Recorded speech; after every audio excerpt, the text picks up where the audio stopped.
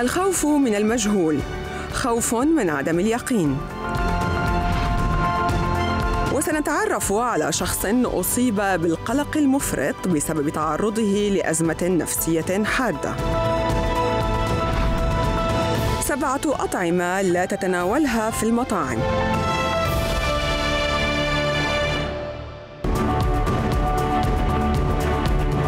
برنامج اليوم مع حبيبة طراب وساندي مصطفى. صباح الخير مشاهدينا وصباح الخير ساندي. صباح النور حبيبة. ساندي اليوم رح نحكي عن موضوع يمكن بمس كل واحد فينا بشكل أو بآخر وهو الخوف من المجهول وخصوصا في ظل الظروف الغير متوقعة يلي عم بيمر فيها عالمنا يعني حروب كوارث حتى كساد اقتصادي. كلها أمور بتخلي الإنسان يحس بعدم الأمان ويمكن الخوف من المستقبل. مزبوط حبيبة يعني العالم اليوم عم بمر بمرحلة صعبة يمكن مليئة بالتحديات وصار موضوع الخوف من المجهول آه، يمكن شعور مشترك بين الكثيرين. لكن السؤال اللي بيطرح نفسه هو كيف يجب أن يتصرف الإنسان في هذه الظروف الاستثنائية حبيبة؟ في اللي بيقول إنه التحدي الأكبر هو القدرة على التكيف مع التغيرات المفاجئة وعدم الاستسلام للقلق والخوف. وكمان لازم نتعلم كيف نواجه الظروف بشجاعة وثقة وإنه نشوف بكل تحدي فرصة للتطور والنمو. صحيح حبيبة فالعقلية الإيجابية والمرونة النفسية هما يمكن المفتاح الأساسي للتعامل مع أي ظرف غير متوقع. يعني من المهم أنه نتذكر دائما أنه بهذه الأوقات الصعبة قد تكون هناك فرصة للتعلم واكتشاف قدرات جديدة في داخلنا وربما تكون أيضا الدافع لتغيير حياتنا نحو الأفضل. إذا كيف يمكننا تحويل التحول إلى قوة دافعة وكيف يمكننا الاستفادة من هذه الظروف للتطوير الذاتي وبناء مستقبل أفضل مشاهدينا هذا الموضوع وأكثر في هذه الحلقة يا ترى ماذا سيحمل لي المستقبل؟ كيف سيكون وضعي بعد شهر؟ بعد سنة؟ أو بعد استقالتي بعد سفري بعد تخرجي هل عمرك سألت نفسك مثل هذه الأسئلة؟ إذا كانت الإجابة نعم فأنت إذا تشعر بالخوف من المجهول حسب علم النفس ساندي بيعاني الأشخاص يلي بيخافوا من المجهول من القلق والضيق خاصة إذا كان ما عندهم معلومات أو سيطرة مع العلم إنه عدم اليقين هو جزء من حياة الجميع. نعم حبيبة وبحسب موقع Medical News Today الأشخاص الذين يخافون من المجهول يجدون صعوبة عاطفية عندما يشعرون بعدم اليقين وقد يحاولون جاهدين البحث عن اليقين. من علامات شخصية الخائفين من المجهول مشاعر سلبية تجاه المواقف أو الأحداث غير المؤكدة وطريقة متحيزة في معالجتهم للمعلومات خاصة في المواقف الغامضة. نعم بالنسبة لهؤلاء حبيبة فهم بيشوفوا عدم اليقين على أنه ببساطة تهديد لهم فيتولد عندهم الشعور بالخوف بسبب افتقارهم للمعلومات المؤكدة والموثقة حول المستقبل. ولكن فعليا من منا حقيقة يملك المعلومات حول المستقبل؟ أو يعرف مثلا ماذا ينتظره المستقبل؟ هذا التساؤل أكيد معروف جوابه حبيبة.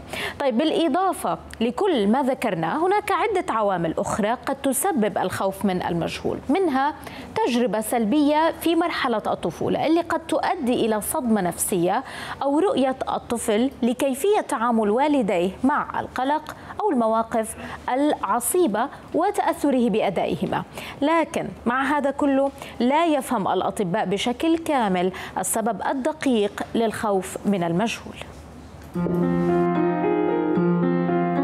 هل تشعر بقلق دائم وتخشى من المستقبل؟ ربما تكون مصابا برهاب المجهول. الخوف من الغد والسعي الدائم والمستمر لتأمين أنفسنا مما قد يحمله المجهول لنا هي سمة أساسية للكثير منا لكنها أحيانا تتخطى كونها مجرد سمات شخصية لتصبح حالة من القلق المرضي. بحسب موقع Medical News Today رهاب المجهول هو القلق أو الخوف من أي شيء أو شخص غير مألوف أو معروف وللبشر مستويات مختلفة من الخوف من المجهول.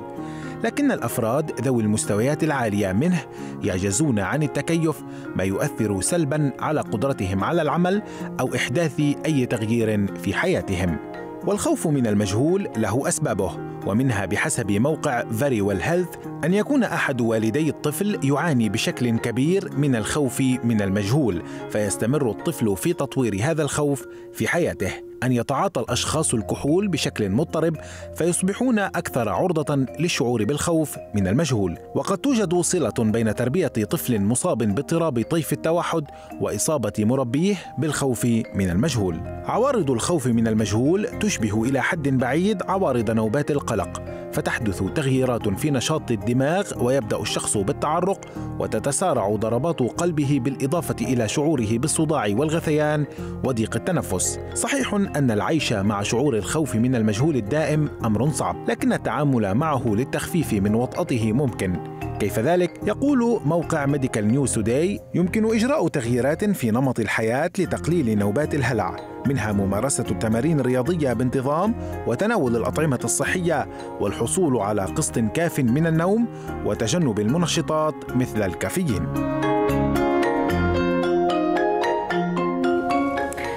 للمزيد معنا في الاستوديو مدربة الحياة المعتمدة في التعامل مع الصدمات وخبيرة التشافي سيدة سمر حجير.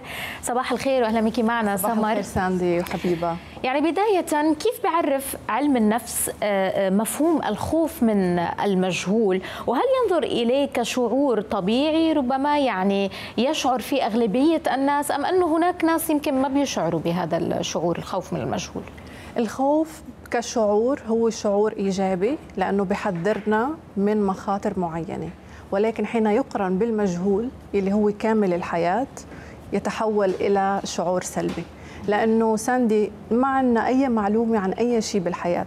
كل ما حدث إلى الآن معلوم وكل ما سيحدث منذ الآن وإلى الأبد مجهول. وبالتالي هو قلق مؤقت أو دائم تجاه أشياء أو أحداث لا أملك معلومات كافية عنها وقد تكون دخيلة على نظامي الهادئ أو الساكن آه، آه، أغلبية الناس بيشعروا فيه برأيك؟ معظم الناس عندهم خوف من المجهول بدرجات متفاوتة وبعمق مختلف من شخص لآخر حسب تاريخهم العاطفي صدماتهم البيئة والمجتمع اللي خلقوا فيها. الناس اللي خلقوا بالحرب غير الناس اللي خلقوا ببلدان ما صار فيها حرب. الناس اللي عندهم صدمات قوية جدا مختلفين عن اللي ما عندهم صدمات. طب مثل ما عم تقولي سمار يعني يمكن كلياتنا عنا شوية خوف من المستقبل أو شوية خوف من المجهول. بس إمتى هيدا الخوف بصير مرض وممكن يأثر على الحياة اليومية؟ لما يكون مصحوب بعوارض نفسية سلوكية مزاجية لفترة كتير طويلة وما تم التعامل معه ممكن يتحول الخوف من خوف طبيعي إلى حالة رهاب أو ما يعرف بالفوبيا. هاي الحالة لما شخص يصاب فيها تعرقل وتعطل كل مسار حياته مم. يعني نحن هون عم نحكي عن سلوكيات قهرية عم نحكي عن تجنب كامل للحياة عم نحكي عن عدم القدرة على اتخاذ قرارات قد تكون بسيطة للشخص العادي مم. بهاي الحالة ممكن الشخص يتعرض لخسارة وظائف خسارة فرص آه، خسارة علاقات. من شدة الرهاب يعني. طيب كيف أعرف مثلا أنه أنا شخص أخاف من المجهول بشكل كتير كبير أو بشكل غير طبيعي؟ يعني شو هي الأعراض وشو هي أخطر هذه الأعراض؟ قلق دائم توتر آه، جسديا ممكن يكون عندك تسارع بدقات القلب ممكن يكون عندك تأتأة ممكن يكون عندك ارتباك. تعرق مشاكل بالجهاز الهضمي آه، صعوبة بالتركيز عندك تشتت دائم للذهن عندك صعوبة إنك تخلقي علاقات صحية مع البشر اللي حواليك عندك صعوبة إنه تحسي بالشجاعة إنك تتصرفي أي تصرف قد يكون بسيط أو سهل جدا ولكن أنت بالنسبة لك رح يكون عندك موانع نفسية تمنعك.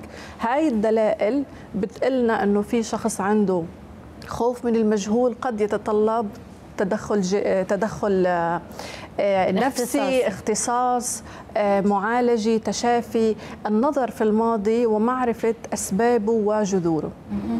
يعني الخوف من المجهول هو إذا بدنا نقول عليه هو نفسه القلق اللي, اللي دائما عم نسمع الكلمة anxiety أنا معي anxiety يعني دائما هيدي الكلمة بنسمعها هو نفسه. القلق المستمر والشديد لفترات مطولة فينا نقول عنه الخوف من المجهول أو الرهاب.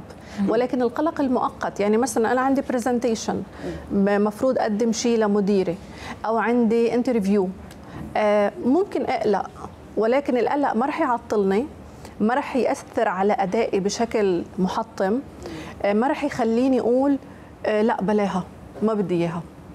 فأنا رح جابه الموقف بشوية قلق بشوية توتر ولكن ما راح يكون في عرقلة تامة للحياة. وهذا يمكن الفرق ما بين القلق الطبيعي والخوف الكثير كبير من المجهول ممكن يعطل مسار الحياة بشكل كامل. بالضبط. أه، طيب هل الخوف من المجهول يعني أسبابه شو هي؟ يعني ليش ينشأ؟ هل هو ينشأ بطبيعة الشخص أم هناك أسباب اجتماعية مثل الحروب مثل الأزمات مثلا كوارث طبيعية اللي عاش فيها؟ فبتكون أه، يعني صفة الخوف من المجهول موجودة عندهم أكثر. كل ما ذكرتي. أه، أسباب تكون الخوف من المجهول عند الأشخاص كثيره منها البيئة والمنشأ والمجتمع والمكان اللي خلق وربي فيه. إذا كان بيئة متغيرة جدا إذا كان في حروب إذا كان في أزمات إذا كان في آه، عدم تواجد ل آه، الخدمات الصحية أو الخدمات النفسية. بالإضافة أثبت علم النفس والدراسات إنه في أشخاص عندهم جينات بتخليهم يكونوا بخافوا أكثر من أشخاص آخرين. ولكن الخبر الجيد إنه هاي الجينات لا تتفعل إلا بوجود البيئة المحفزة لتفعيلها آه، إضافة للأشخاص اللي عندهم اضطرابات نفسية مثل الذهان مثل الثنائي القطبي الشخصية الحدية هول بيكونوا معرضين أكثر للخوف من المجهول لأن أصلا هاي الاضطرابات هي ناشئة من الخوف أو نشأ عنا الخوف فالخوف أو بيكون سبب أو بيكون نتيجة. الأشخاص اللي تعرضوا لصدمات دايما رح يكون عندهم خوف أنه الصدمة تتكرر بالمستقبل. آه المرضى كثير بلاحظ إنه مرضى السرطان الله يشفي الجميع دائما بعد ما يتشافوا بيكون عندهم خوف إنه المرض يرجع لإنه هن تذوقوا مرارة وعذاب آه، ومعاناة المرض وتبعاته فخايفين كثير إنه يرجعوا يمروا بهي التجربة من أول وجديد. صحيح. طيب آه بنسمع سمر في كثير أمراض نفسية جسدية. هل الخوف من المجهول أو القلق ممكن يأثر على جسدنا آه سلبا أو نحس باوجاع ما نعرف شو هي. حسب الميتا هيلث أو ما بعد الصحة كل العوارض النفسية ينتج عنا عوارض جسدية. مم. وأيضا كل شيء جسدي أساسه نفسي. أنا أؤمن بهاي المدرسة. بنشوف آه إنه الخوف ممكن يأثر على الجهاز الهضمي أكثر شيء. بنشوف إنه ممكن ينتج عنه احتباس للماء. آه صداع. آه وجع بالحلقوم. عدم قدرة على المشي آه نزول الطاقة بشكل رهيب لدرجة الشخص ما بيكون قادر يتحرك. فطبعا في تأثير نفسي آه بيأثر على الجسد. طيب سمر خلينا نحكي شوي عن الإيمان وقد إيه يمكن بيساعد. لأي مدى الأشخاص المؤمنون يعني دينيا هن بمنأى ربما عن الإصابة بهذا الخوف المفرط من المجهول؟ هل بيساعد فعلا الإيمان؟ بيساعد جدا. أنا ساندي إذا قلت لك أنه في ملك أو حاكم مدينة رح يوقف معك رح يساعدك رح يساندك بأي مشكلة بتتعرضي لها. قد إيه حتحسي بالطمأنينة؟ أكيد فورا صح. ما بالك ملك الملوك اللي هو الله. المؤمن عنده إيمان أنه هناك قوة خارقة ستدعمني ورح تفهمني الحكمة لما أكون جاهز إني أفهمها. المؤمن يعرف إنه كل أمر الله خير. حتى لو كان الخير مش ظاهر كان باطن رح يقدر يعرف إنه لا أعلم ما هو قادم ولكن أعلم من هو معي وهو الله. فهو مطمئن دائما. جدا. نشكرك على آه، كل هذه المعلومات وعلى هذا الحديث الشيق مدربة الحياة المعتمدة في التعامل مع الصدمات وخبيرة التشافي سمر حجير شكرا جزيلا لك. أما بعد قليل ما هي أسباب الخوف من المجهول؟ سؤال طرحته الحرة.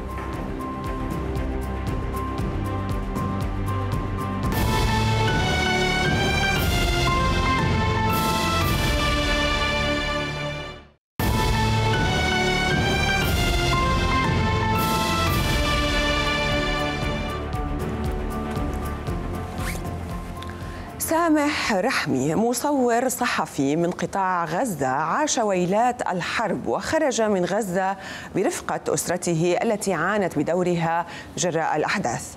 سامح وأسرته يتملكهم الخوف من الآتي ومن مستقبلهم المجهول. لنتابع. إيه يعني تشوف سقف البيت يوقع عليك؟ وبنتك تقول لك يا بابا طلعني يا بابا طلعني من تحت. كل واحد فينا عنده كابوس لعين مرافقه زي ظله فانتوم طيفه. جو الحرب انت بتكون مصور صحفي حربي انت طالع من بيتك ممكن ما ترجعش ممكن تموت. هذه الحرب كانت تختلف عن باقي الحروب. الحروب الماضية أنا كنت فيها أعزب لما أكون متزوج. أصعب حاجة تكون أب وأنت صحفي وفي الحرب. أنت يا حيكون عقلك مع أسرتك أو حيكون عقلك مع شغلك. أسوأ الليالي أول ليلة. خوف. ما فيش حدا ما بخافش. صحينا من النوم أنا طلعت مرتي قلت لمرتي حاليا أخذنا قرار إنه تاخذ البنات وتطلع على دير البلح. أنا أول ما وصلت الدير بعد بكم يوم زادت الأحداث سوء ومعيش سامح والبنات بيسألوني عليه والقصف في كل مكان. كنا محاصرين في بيت في بيت واحد فكنا عدد يعني فوق ال 30 شخص في البيت. فكان الإشي بشع. صوت الطيران طول الوقت الزنانة مثلا ما تسكتش خالص. فطول الوقت في عامل نفسي كمان يعني متوترين. بيروت بنتي كلمتني من دير البلح. بابا إحنا خايفين. تعال بدنا إياك. تعال عنا. أنا خايفة بدي إياك. ليش أنت هناك؟ أنا عاد مش عارف آجي. مفيش مواصلات أصلا. وأنا خايف ما بنامش في بيتي. أنا بنام في الشارع. كنت مخلوط المشاعر. أنا على عمارة أمي كلمتني قالت لي إلحق إحنا هربنا من بيتنا. أنا هلأ بفكر في أمي وأبوي بفكر في مراتي وبناتي في نص القطاع وأختي جنب بيتي في المنطقة اللي فيها عزام ناري. أنا هناك في دير البلح من يوم طفيت كاميرتي بطلت صحفي. أب رب أسرة بده يحمي أسرته بأي طريقة كانت. لعن ما عرفنا نيجي هنا.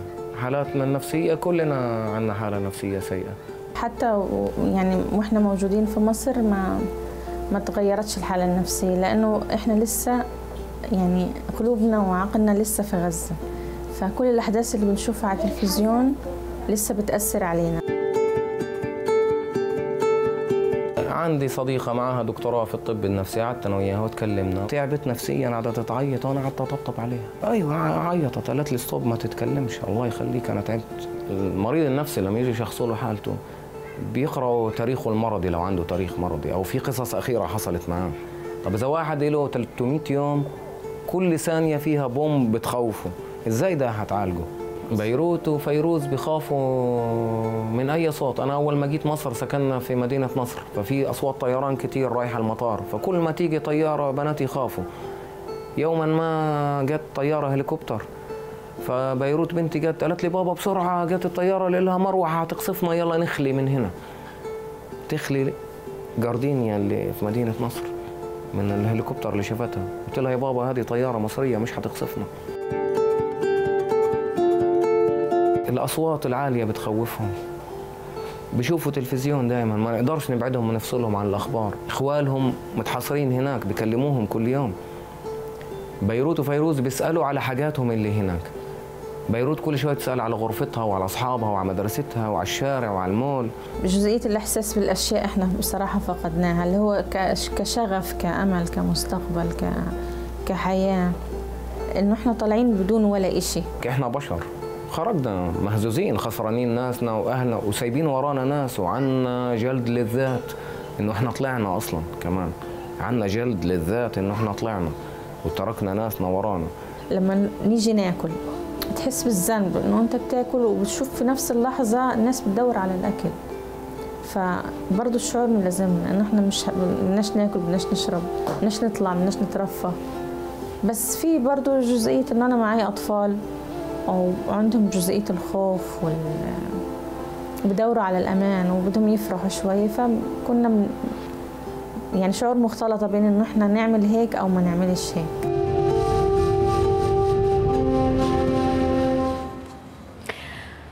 تخاف من المجهول ومن ماذا تخاف تحديدا ولماذا؟ هل تشعر أن خوفك هذا يصعب عليك حياتك؟ أسئلة طرحتها الحرة في الشارع المصري وعادت بالإجابات التالية طبعا المجهول بيخوف خصوصا لما يكون الدنيا ضباب قصادك أنت مش مش عارف بكرة في إيه فأكيد بتخاف وفي الغالب أنت ما بتخافش على نفسك بس بتخاف على اللي حواليك إذا كان أولادك بقى ولا بيتك ولا أسرتك أو شغلك فبالطبيعي لو الدنيا مش واضحة أنت بتخاف من المجهول يعني إحنا بنفكر أكيد كتير في المستقبل وإيه اللي هيحصل وكده. ومثلا ممكن دي تكون حاجة إيجابية وسلبية. يعني إحنا بتفكر هن- هيعمل كذا وهعمل كذا. يبقى ليك مثلا مخططات. بس ممكن تكون خايف إن أنت ما تقدرش تحققها. خوفي من المجهول بيأثر عليا نفسيا. ممكن أقعد بالأيام ما بنامش. أنا بالنسبة لي المجهول زي بمعنى يعني by definition exactly هو إن إحنا ما نعرفش إيه اللي هيحصل بكرة. طبيعي. بس هي حاجة بنسيبها دايما. يعني أنا في رأيي بسيبها على الله. بس as much as الناس يقول لك دايما نسيبها على الله الواحد يعمل برضو اللي يقدر عليه. يعني ما لو أنا خايفة مثلا إن أنا أخسر مكاني في شغلانتي هل أنا capable إن أنا أحافظ عليها ولا لأ؟ أحاول أعمل اللي أقدر عليه وساعتها خلاص أسيب بقى كله على ربنا. وده المفهوم اللي لازم الناس, الناس تفهمه مش أسيب الباقي على ربنا وفي الأول وفي الآخر كله في إيده. هلا المجهول إحنا بهالعمر يعني أول طلعتنا وهيك إنه أكيد الواحد بيتوتر مستقبله ودراسته وشغله وكل هالشيء بس إنه الواحد إنه بيعمل اللي عليه بشوف الفرص المتاحة له بجرب قد ما في يشتغل والله يمكن مثل ما بيسرها بيسرها يعني فإنه خلص الواحد يعمل اللي عليه ويتكل على الله. بخاف من المجهول لا يحصل فعلا لا قدر الله حد يروح مني حد عزيز عليا فطبيعي لازم أخاف. وللحديث أكثر عن الموضوع تنضم لنا من بيروت آه، إليان صعيبي الخبيرة في مجال الموارد البشرية. صباح الخير إليان. آه، إليان بداية شو هي أبرز الأسباب يلي بتخلي الموظفين يخافوا من المجهول في بيئة العمل؟ صباح الخير. في كتير أسباب بتخلي الموظفين يشعروا بالخوف وهون عم نحكي عن الخوف مش أول ما يفوت الموظف على الشركة ببلش شعور الخوف. هيدا على فترة يمكن بعد ست أشهر يمكن بعد 8 أشهر عم بحس بقلق معين. حسب دراسة أجرتها قالوا 85% من الأشخاص الموظفين بيشعروا بالخوف بقلب الشركة جراء كتير تغيرات. أولا عدم الاستقرار. بس يجي مدير جديد سي أو أو جديد أشخاص آه، عم بتفل من الشركة أشخاص جديدة عم بتحل محل أشخاص صار سنين خبرة بقلب الشركة. مشان هيك ببلش نوع من الخوف عند الموظف. تاني شيء عدم وضوح بالمستقبل. كم مدير بيوعد الموظف ب promotion بإنه يزيد له معاشه إنه يعطيه task و achievements جديد عليه. وبحس الموظف هون بمطرح ما إنه أنا بعدني مطرحي ما تقدمت ما حصل شيء جديد. وهون ببلش شعور الخوف. أهم وحدة هو ال technology. لما يكون في technology فايتة على المؤسسة وما يكون في تدريب صحيح لهيدي ال technology للموظف so هون ببلش شعور الخوف. وأهم وحده الثقافة آه، التنظيمية بقلب الشركة يلي يمكن ما فيها كتير communication واضحة يلي ال HR ما بيتواصل مع الموظف بشكل مستمر فهون بيخلق نوع من القلق والخوف من المجهول عند الموظف ببيئة العمل. طيب إليان شو هي العلامات ربما اللي بتظهر على الموظف وتشير إلى أنه الخوف من المجهول عند هذا الموظف صار مشكلة نفسية متفاقمة؟ يعني آه، آه، بدأت تؤثر على أدائه كذلك في العمل. أوكي ما بعرف إذا عم تسمعوني. آه، في بس. بدي أقول شغلة. العلاقات اللي بتأثر على الخوف من المجهول في كتير أو في كتير. اولا انخفاض بالإنتاجية. عم تسمعوني؟ ما بعرف لحظة. نعم نعم سامعينك أستاذ إليان تفضلي. طيب على ما يبدو فقدنا الاتصال بالسيدة ليان الصعيبي الخبيرة في مجال الموارد البشرية. آه، سيكون لنا عودة إليها طبعا آه، آه، إن كان ممكنا لمناقشة هذا الموضوع. طيب سيدة إليان عم تسمعينا الآن؟ yes yes عفوا. أنا كنت بس عم ظبط موضوع الإنترنت. نعم so طيب. أرجع كنا نتحدث عن العلامات اللي تشير إلى أنه الموظف بدأ يخاف من المجهول بشكل كتير كبير وبدأت تؤثر على أدائه في العمل. صحيح. okay. دور ال human resource أو الموارد البشرية بالشركة بيلعب كثير دور كثير كبير عند الموظف. اولا لما يشوف إنه في انخفاض بالإنتاجية عند الموظف.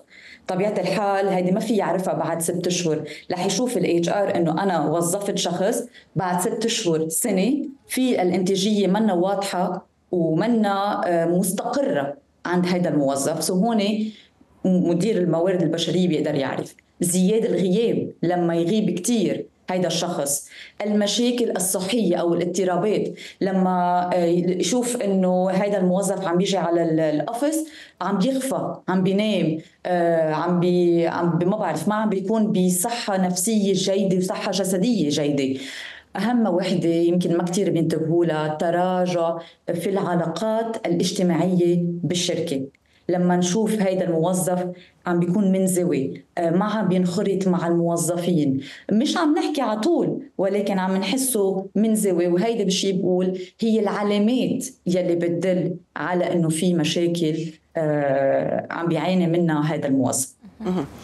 طيب كيف ممكن لمديري الموارد البشرية آه، إنه يتعرفوا على الموظفين يلي بيعانوا آه، من هالقلق الناتج؟ يعني ممكن نفس الأعراض تجي لموظفين ولكن تكون أعراض هيك يعني يومين ثلاثة وبتقطع. صحيح. هذا الشيء اللي قلته وذكرته بالأول إنه علامات الخوف عند الموظف ما في من يوم ويومين أقدر أعرفها. هي علامات بعد فترة كتير طويلة بقدر عم لاحظها عند الموظف. أولا هي مراقبة الأداء. هيدا الشيء اللي لازم يعمله مدير الموارد البشرية إنه يراقب الأداء تبع الموظفين. في يعمل assessment في يسأل المدير تبع هذا ال department يعمل assessment للموظفين وين كانوا وين صاروا كيف الإنتاجية تبعهم عم بتكون. so هون ملاحقة ومراقبة الأداء وهون بس نقول مراقبة الأداء ما بدي أكون عم بنفهم غلط هو رصد التغيرات المفاجئه عند الموظف. وأهم شيء هو الاستبيانات يلي بيعملها. قليل كتير ال human resources أو مدير الموارد البشرية يطلب الموظفين هن يعبوا الاستمارات تبع تقييم الأداء تبعهم. هيدا شيء كتير منيح تنشوف إذا هالموظف قادر يكون عنده وعي عن الخوف تبعه بالشركة. قادر يكون عنده وعي هو إذا عم بحس إنه الإنتاجية تبعه عم بتزيد عم تنقص فهيدا بارت كثير مهم. طيب إليان يعني هدول الموظفين اللي عم بيعانوا من الخوف من المجهول بشكل كبير أنتم كموارد بشرية كيف ممكن تساعدوهم؟ طبيعة الحال هو الخوف من المجهول في يكون آه، مدروس بشكل كتير مهم وأساسي بقلب الشركة وحسب قد إيه كبر الشركة وقد إيه هيدي الشركة عندها موظفين. أهم شغلة والاستراتيجية اللي أنا على طول بنصح فيها هو تقديم الدعم النفسي. يعني أنا ما بجيب psychologist وبقول له لهيدا الشخص أنا بدي ولهيدا الشخص أنا بدي. لا أنا هيدا ال psychologist بده يكون موجود من فترة تانية بالشركة يسمع للموظفين. تعرفوا كم موظف ما بيقدر يقول القصص للمدير أو ما بيقدر يقول القصص للمدير الموارد البشرية؟ لأنه يمكن ما بيرتاح. يمكن بخاف إنه هن ما يعملوا شيء. فالتقديم الدعم النفسي والبرامج الاستشارية هيدا ال part كثير مهم للموظف شغلة كثير مهم وأساسي. وأهم شغلة التدريب على التغيير بالشركة.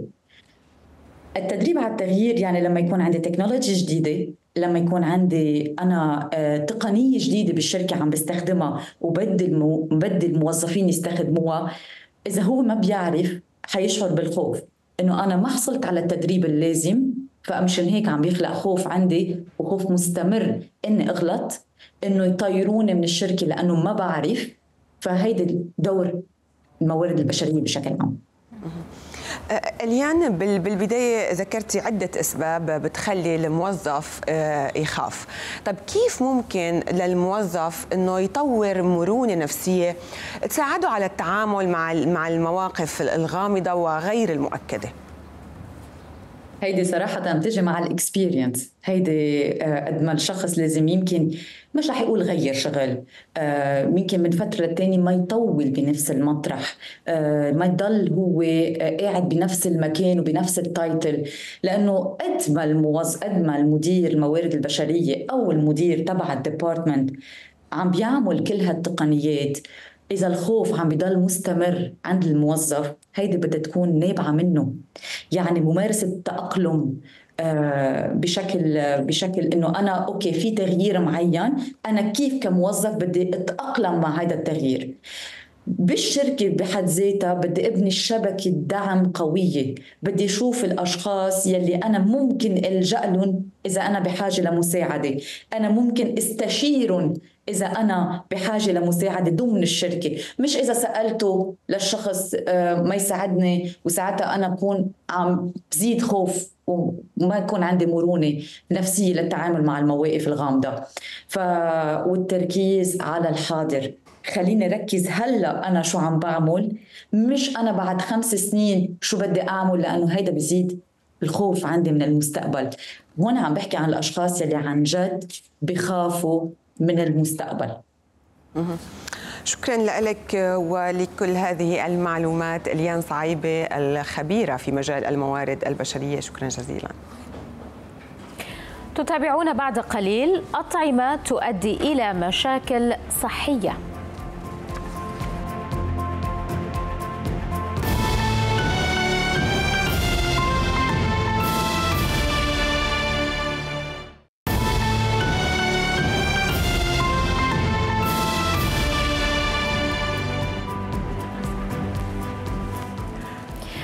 أهلا بكم. هل فكرت بيوم من الأيام بأنه هناك مأكولات آمنة ومأكولات غير آمنة في المطاعم التي تقصدها؟ وهل تعرف بأن عليك تجنب بعض الأطعمة في المطاعم والأماكن التجارية حفاظا على سلامة صحتك؟ نعم حبيبة تقرير صحفي أمريكي نشره موقع Reader's Digest أوصى بتجنب تناول سبعة أنواع من الأطعمة في المطاعم والأماكن التجارية العامة. وكشف التقرير أن صانعي الطعام من الطباخين المهرة والخبراء يتجنبون هذه الأطعمة عندما يتناولون الأكل في الخارج ببساطة لأنهم يعرفون أسرارها ومن أبرزها ومن أبرز ما يتجنبون هؤلاء وجبات العروض المعتمدة في بعض المطاعم. هناك مطاعم تقوم آه، أكيد بتنزيل أسعار وجبات أو أصناف أكل معينة خلال فترة مؤقتة. على كل حال تعالوا نتعرف على كل تفاصيل هذا التقرير الأمريكي حول أسرار الطهاة مع ساندي. نعم حبيبة إذا ما هي السبعة مأكولات اللي من الضروري أن نتجنبها في المطاعم بحسب التقرير الأمريكي المنشور على موقع ريدرز دايجست على لسان كبار الطباخين وأمهرهم عالميا؟ أولا وجبات العروض لاستخدام المطاعم مكونات على وشك انتهاء صلاحيتها وبالتالي يحاولون التخلص منها بشكل سريع. ثانيا الدجاج وذلك بسبب الإفراط في طهيه في معظم المطاعم وفقدان مذاقه الأصلي اللذيذ. ثالثا المحار لأن التعامل مع هذه الفاكهة البحرية النيئة وتخزينها بشكل غير صحيح قد يضر بالصحة بل ويقتل أحيانا بحسب أحد الطهاة. رابعا ينصح بتجنب المطاعم الكبيرة ذات الفروع الكثيرة لأنها نادرا ما تستخدم المكونات الطازجة وتعتمد تعتمد غالبا على المجمدة على الأقل مرة أو مرتين في الأسبوع. خامسا يجب الانتباه للخبز إذا كان طازجا أم سبق تقديمه لزبون آخر. فتكون قطع الخبز مليئة بالجراثيم التي جاءت من كثرة تنقلها من طاولة إلى أخرى. سادسا الخضار بحيث يكون الابتعاد عن السلطات أسلم لنا. ويفضل التركيز على أطباق خاصة مصنوعة من منتجات موسمية. سابعا وأخيرا يستحسن تجنب تناول الوجبات الخفيفة التي يتم تقديمها في المطعم قبل العشاء. فنادرا ما يتم غسل هذه الأطباق بين الزبائن والعديد من الأصابع قد غمست في هذا الوعاء. يعني ساندي التقرير شوي بخوف ما بعرف كيف بدنا نرجع ناكل بالمطاعم بعد ما سمعت هيدا التقرير. صحيح. على كل الأحوال نزلنا للشارع اللبناني لنسأل المواطنين عن الأطعمة يلي بيطلبوها بشكل دائم بالمطاعم وهل بيوثقوا بأنه الأكل المقدم في المطاعم طازج خصوصا إذا كان ضمن العروض؟ ولماذا؟ عنا لازم يكون عنا عينة متنوعة من الإجابات. خلينا نشوف. ما في مشكلة مع الأكل من المطاعم. أكثر شيء دجاج burgers كل ال fast food ما فيهم مشكلة. هذا أكثر شيء يعني بنطلبه. بنتجنب نطلب مثلا سلادات معه تكون مش مغسلة أو مش نظيفة حسب المحلات. بس في كمان محلات حسب ال reputation تبعولها يعني ما فيها ولا أي مشكلة. أنا أكثر ماكله نطلبها هي عندك البيتزا وال pâtes الأكثرية لا لا فهمت المقرونة فهذيك اللوش الماكلة الإيطالية بصفة عامة. لازمك تمشي لي ريستورون اللي تعرفهم نظاف وتعرفهم يعملوا الماكلة فري أه سينو كيف ريستو مش معروف ولا حاجة ما نمشيلوش. بسال على المطعم. إذا المطعم بوصوني عليه على السريع بيجي لعنده وبشوف إذا المطعم بوصوه عنده إجر مثل ما هلأ شايفين هون بهالمطعم. وبعرف إنه موصيني عليه عندي الثقة بكون إني أطلب ال offer طبيعة الحال مطعم ثاني عامل offer شوي واطي ما حتجنبه بصراحة بعملها فهيدي سياستي أنا بالأكل. آه نعرف طازجه معناها حسب ال restaurant وحسب الناس اللي تدخل له أكثر الناس تدخل donc الحال الماكلة ديما تكون فريشكا ما تبقاش معناها congelé وإلا معناها ديما ماكلة جديدة نتصور إذا عاملين عروضات بالمطاعم أو أي محل ما بشتريهم بيكون لأنه يومتها خالص مدتها بيكون خالصة. بالنسبة باش نعرف الماكلة هذيك طازجه ولا risque تشوفها يعني تعرفها ملي تعرفها. هما أنا في البلايص الكل و restaurant ينجم يكون فيه mouvement هكا باش الواحد يضمن اللي نظافة وجودة هكا بالمطاعم أنا بفضل آكل الأكل المطبوخ وبتجنب اللحم الني والأسماك والأجبان لأنه بخاف ما تكون في بكتيريا أو ميكروبات لأن ما في كهرباء أو مصادر اللي بيجيبوا منها اللحمة بتكون ماني أكيدة منها حتى كمان المطاعم يلي بتعمل عروضات وبترخص السندوتشات بتحشاها ما ما بروح عليها أو باكل منها. بحس إنه اللحمة نوعيتها بتكون منا منيحة. طيب بعد ما شفنا آراء الناس خلينا ناخذ رأي الخبراء. معنا في الاستوديو الشيف سهى عبد الله صباح الخير شيف صباح أهلا بك معنا. أهلاً. يعني استمعنا لآراء الناس متفاوتة أو متباينة. في ناس بتثق كثير بالمطاعم إذا كان موصى عليها وفي ناس لا تثق ربما بنوعية اللحمه بالعروض يعني الوجبات اللي مخفضة. بالنسبة للتقرير الأمريكي اللي نحن استعرضناه قبل قليل هو يحذر من تجنب طلب بعض أنواع من الأطعمة مثل ما شفنا. لأنه يمكن مكوناتها ما نكون أكيدين إنها طازجة. بدنا ناخذ رأيك شيف سهى أنت كيف بتشوفي الموضوع؟ ليكي هلا. أنا بعتقد بيعتمد الموضوع أكثر على المكان اللي أنت عايشة فيه. يعني نحن بدولة الإمارات في قوانين كثير صارمة وفي وزارة كثير بتشدد على كل المطاعم وعلى الأماكن المطابخ إنه كل شيء يكون نظيف وطازج ولازم يعملوا جرد يعني كل يوم على كل المواد إذا صلاحيتها مضبوطه أو منتهية أو هيك. هلأ فيعني نحن هون ما كثير بنخاف بس مزبوط يعني الواحد لما يطلع شوي في منتجات معينة أو أطعمة معينة يعني إذا أنت جاي على آخر النهار يعني المطعم بلش بده يقفل بده يخلص هالمواد ما راح تكون طازة. يعني مثل ما هي بالعادة أو بفترة معينة. ولما يكون في مثلا فترة ضغط كثير كبير ببطل النظافة مثل ما هي غسل الخضرة مثل ما هي بصيروا يستخدموا كثير منتجات مجمدة بدل ما تكون طازة. طبعا. ف وشغلة العروض كمان هاي في الواحد إيه لازم يفكر فيها يعني كذا مرة لأنه ليه هالقد مخفضين سعرها؟ يعني هي آه، ماركتينج تسويق ولا في شيء لازم يخلصوا منه على السريع ليقدروا مثلا ي- يعملوا أو يسلطوا ضوء على شيء ثاني. عرفتي؟ ف بس حسب يعني نحن بنشوف يمكن حسب المطعم حسب المكان. أكيد وحسب شو هو نوعية المطعم. يعني نحن لما نفوت على المطاعم الل- اللي هي طبخ سلطات الأكل الشرق أوسطي بال- بالإجماع يعني كل مواده لازم تكون طازة. يعني عندك السلطات الموسمية هيدا بيستعمل لك أشياء يعني موجودة. ريت إنه بأمريكا مثلا يعني نحن هون بتفوتي أنت على المطعم بينزل لك خبز بينزل لك آه، آه، جات آه، خضرة كبيس زيتون هالأخبار. بأمريكا ريت إنه وحدة من ال ال الأشياء إنه بيرجعوا إذا شخص مثلا نزلوا هال هالمخللات والهاي بيرجعوا بيطلبوا بالمطبخ إنه يغسلون ويرجعوا ينزلوهم مرة ثانية فالواحد بده كثير يكون منتبه. يعني. إيه بده إنه أو مثلا هالخبز صار له كثير زمان قاعد على الطاولة بيتنقل من طاولة لطاولة هيدا بيحمل بكتيريا كثير عالية ساعتها معقول الشخص يتسمم. بخوف صار الموضوع شوي سو آه إيه إيه بخوف صراحة. أما الواحد. لازم يكون عنده إدراك كتير عالي ووعي كتير كبير.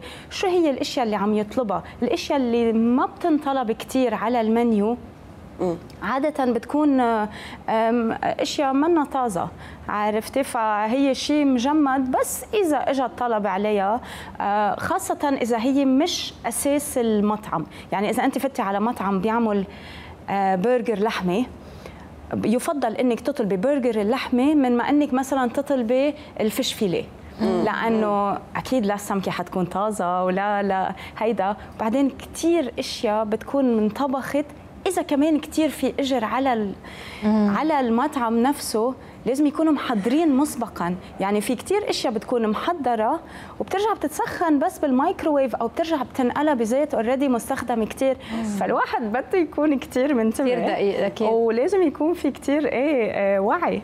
بس أكيد. هذا ما بيعني إنه ما, ما ناكل بقى. لا. هذا اللي بدنا نوصل انه نفوت على المطاعم ولا لا؟ لا لا, لا يعني بلا أكيد. ما نقطع. لا لا ما بتقطعي. بس بده يكون okay. الواحد يعني يطلب. فيك أنت تفوتي هيدا حق ال- ال- ال- ال- الشخص اللي فايت إنه يطلب إنه آه، هيدي طازة ولا لا؟ شوف لي آه، إنه بدي شيء هلأ يكون مسكر وطازة. ونحن فينا نعرف يعني أنت فيك تعرفي إذا الخبزه بيتي ولا هلأ طازة. و... وعم أقول لك نحن هون بالبلد كله بينعمل قدامك. كثير مهم يكونوا المطاعم اللي بتكون عندها مطابخ مكشوفة. لأنه أنت شايفه شو عم ينعمل شايفه النظافة شايفه إنه عم يت...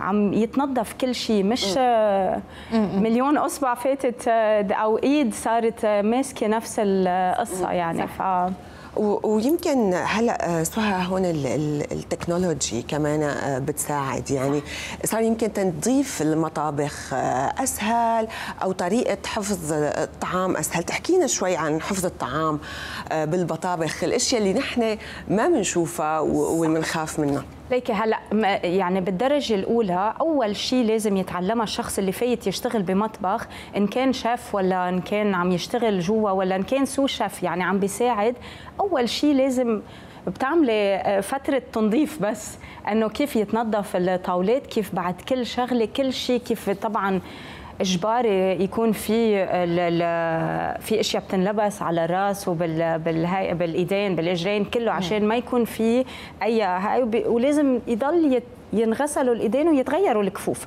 يعني هيدي قصة إنه لبسنا كفوف مثلا وهيك نحن وضلينا بنفس الكفوف كل النهار هيدي غلط. استفدنا ما كتير، استفدنا. شيء لازم الواحد يضل يغير وي وينظف إيديه يعني. بس آه آه، في ت- آه، تقنيات لحفظ الطعام في آلات معينة في كيس معينة بتسحب الهواء مزبوط عشان ما يدخله أي نوع من البكتيريا ما يصير في تحلل بهول المواد خاصة إذا آه، هي مثل اللحوم مثلا. يعني آه، مطاعم بتجيب بكميات كبيرة أكيد مش كل شيء بي- بيخلص بنفس النهار. فلازم كله بعد بعد كل بس يخلص النهار كله بيرجع بينعمل له packaging من أول وجديد بينسحب الهواء بينحط بدرجة حرارة معينة لكله يضل طازة هيدا عم نحكي على لحوم طبعا أسماك مثل بيقول لك طبعا حتى مثلا إذا بتفوتي على محل سوشي ما بقى بيتقدم بعد الساعة 10 بالليل يعني لأنه هل حياتها لهالسمكه خلص يعني. بتكون. خلصت إشي حتى بتفكري أنت إنه تونة انه أنا عم بجي اطلب تونة سالد التونة مثلا بمطاعم معينة ما بتنعمل إلا مرة بالأسبوع يعني هن طبعا ما راح يجيبوا cans كل يوم إنه ده علب هن بيعملوا التونة بس هيدا ما. بتنعمل fresh. ففي أشياء الواحد ما بيكون لازم مفكر فيها. فيها. لازم يفكر فيها بطريقة يفكر فيها. واعية أكثر طبعا. طيب سهى ختاما هيك بأقل من دقيقة. بدنا تعطينا بما إنك أنت كمان food blogger صح. يعني عندك شوية أسرار بهذا المجال يمكن نحن ما بنعرفها.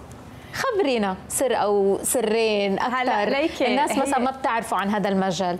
ليكي هي أهم شيء إنه إنه ت- أنت فيك تطلبي الاشياء تكون كلها طازة.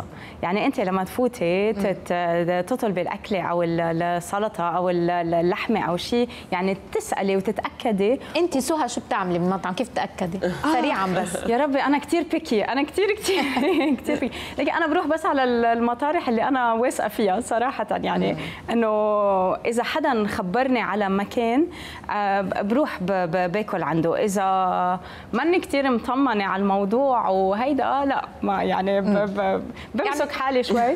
أنا بعملها بالبيت. أنا لاقول لك شغلة بروح بجيب الأشياء طازة آه، من السوق أو من ال- السوبر ماركت وبحاول أنا أرجع عيدها بالبيت. أو بروح. على المطارح الموثوقه أكثر الموثوقه يعني. أكثر إيه، شيء. يمكن إيه. هذا هو النقطة الأساسية. إنه دائما نروح على المطاعم أو الأماكن الموثوقه حتى ما نحرم حالنا. نحن. أكيد لازم. نكون معتدلين بالموضوع. نشكر وجودك معنا آه، الشيف سهى عبد الله وشكرا آه، لكل هاي النصائح اللي قدمتيها. شكرا جزيلا اختتم مهرجان المانجو السنوي الذي تستضيفه ولاية كسلة في شرق السودان وكان المهرجان يقام سنويا في الخرطوم لكنه يواجه هذا العام ظروفا صعبة بسبب عدم توفر التمويل اللازم والطرق الآمنة لوصول الأصناف التي تعرض سنويا ويقول مختصون إن إنتاج المانجو في البلاد مهدد بسبب تمدد رقعة الحرب بعد سنة من توقف قسري فرضته الحرب تستضيف ولاية كسلا بشرق السودان مهرجان المانجو السنوي. مهرجان يهدف لجمع المختصين والمهتمين بإنتاج المانجو وتصنيع مشتقاته كما يعد مساحة للتعريف بقدرات السودان في هذا المجال. مثل هذه البرامج ومثل هذه البرم... الفعاليات حتكون لها الدور الفاعل جدا في مستقبل السودان. مستقبل السودان كدولة زراعية هو ال- المخرج الاقتصادي أو المخرج ال- الكبير من الأزمات. حقيقة مهرجان المانجا مهرجان مهم جدا جدا. أنا شخصيا أنا شخصيا استفدت منه آه، لأني تعرفت على أنواع المانجا الموجودة داخل المهرجان. صراحة الشباب دي أبهرونا به اللي هو مؤتمر المانجو. على الأقل الناس آه، كانت يعني تركز على ال- ال- ال- الفاكهة الغنية دي. ويصر مشرفو المهرجان على إقامته في هذا التوقيت بالتحديد للفت الانتباه إلى الأخطار التي تهدد مزارع المانجو مثل امتداد المعارك إليها وانعدام الأمن في الطرقات ما يؤدي إلى تلف كميات كبيرة من إنتاج المزارع. الحرب آه، وصلت ولاية سنار واثرت عليه الإنتاج في في في في سنار وفي سنجا الحاجة دي الآن خلتنا في إنه نحن نفكر في إنه نعمل معرض أو مهرجان للمانجا وننور الناس مزارعين ال- الفاكهة في ولاية كسلا. وأهمية ولاية كسلا كمنطقة آه، زراعية كبيرة وممكن تكون المخرج أو أو المعوض الكبير للمناطق اللي فقدت فيها أو للمناطق اللي نزحوا منها منتجين المانجا. ومع تأكيد تقارير محلية على خروج عدد كبير من مزارع المانجو من دائرة الإنتاج ترى جهات حكومية أن تخصيص أراض زراعية جديدة ربما يعوض ما فقدته البلاد من صادرات المانجو. في أراضي شرق وغرب نهر عطبرة أراضي بستانية عملها دراسات وفيها موية مياه جوفية اللي هي من نهر عبرة مباشرة أو من المخزون الجوفي لنهر عبرة. اللي هي أراضي الكرب شرقي وغربي نهر عبرة. الوزارة سعت لنا تسجلها وتتفصل وتتخطط بحيث إنها تمنح للمستثمرين آه، في كل قطاعاتهم سواء كانوا أفراد أو شركات. والاهالي أكثر من 40 صنفا من أنواع المانجو ينتجها السودان في مساحة تقدر بنحو 300 كيلومتر مربع. تتوزع على ولايات مختلفة بوسط وجنوب وغرب البلاد إلا أن الحرب تحول دون وصولها للمستهلكين. امتداد المعارك في السودان إلى مزارع المانجو. حرم البلاد من إنتاج يقدر بنحو مليون طن سنويا. هي أزمة يرى اقتصاديون ضرورة معالجتها بتوفير مساحات جديدة وآمنة لزيادة الإنتاج. إسلام الأمين الحرة ولاية كسلا شرقي السودان. إذا بهذا نكون قد وصلنا إلى ختام حلقة اليوم. فيكم تتواصلوا معنا على مواقع التواصل الاجتماعي. بأمان الله. إلى اللقاء. تكون الخوف من المجهول عند الأشخاص كثيرة منها البيئة والمنشأ والمجتمع والمكان اللي خلق وربي فيه. إذا كان بيئة متغيرة جدا إذا كان في حروب إذا كان في أزمات إذا كان في آه، عدم تواجد ل آه، الخدمات الصحية أو الخدمات النفسية. بالإضافة أثبت علم النفس والدراسات أنه في أشخاص عندهم جينات بتخليهم يكونوا بخافوا أكثر من أشخاص آخرين. حسب دراسة أجرتها قالوا 85% من الأشخاص الموظفين بيشعروا بالخوف بقلب الشركة جراء كثير تغيرات. أولا عدم الاستقرار. بس يجي مدير جديد سي أو أو جديد أشخاص آه، عم بتفل من الشركة أشخاص جديدة عم بتحل محل أشخاص صار لها سنين خبرة بقلب الشركة. مشان هيك ببلش نوع من الخوف عند الموظف. تاني شيء عدم وضوح بالمستقبل.